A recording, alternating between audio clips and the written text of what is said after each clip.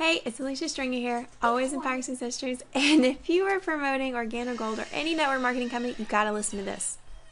You know, she's building Organo Gold. You know, she's looking at what is iPAS? Do I need it? I'm like, hey, you know, iPAS is a great way to build your business. Why? Organo Gold is never going to show you how to market your business past your friends and family, period. Just period, right? And if you think they will, well, one day you're going to wake up and go, dang, they just keep wanting me to talk to my friends and family. Now, if your friends and family is 10,000 people and you live in a village of 10,000, that's a great downline. Fantastic. Merry Christmas to you. You have a great career in, in network marketing.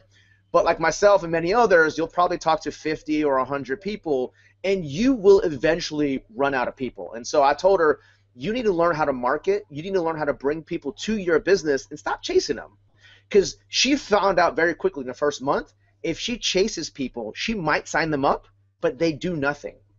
They do nothing. So if you're brand new to iPAS or Empower, go ahead and put them to the side.